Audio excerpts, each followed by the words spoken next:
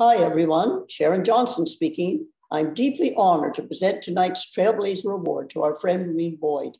Maureen and her husband Colin befriended David and me soon after we moved to Ottawa.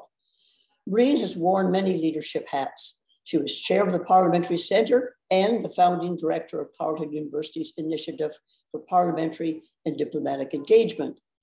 This required a keen understanding of politics, the media, and government.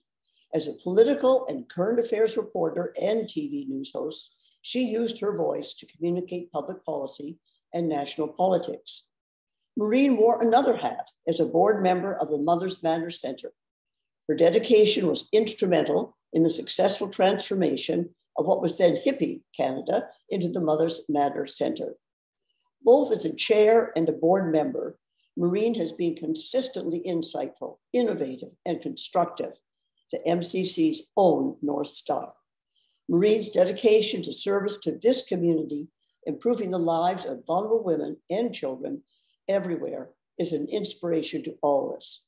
Marine, it is my great honor to present you with the Mothers Matter Center's 2022 Trailblazer Award.